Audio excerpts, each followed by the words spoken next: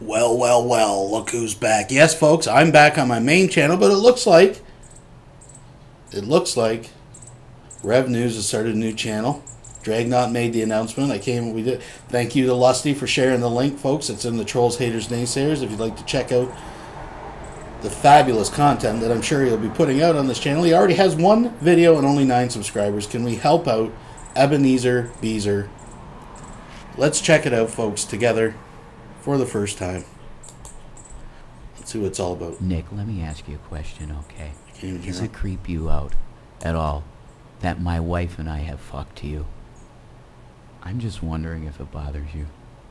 I don't know. I can barely hear it. I think he basically just said fuck you to everybody. But anyways, folks, there it is. We got Ebenezer Beezer. By the way, I will be doing an interview next week. Stay posted with the wife of Christ. I announced it on the Dragon's Den. And if you're not subscribed to my other channel, Secular's Revenge, the link will be in the description. Folks, we're back in business and business is good. Talk to you then.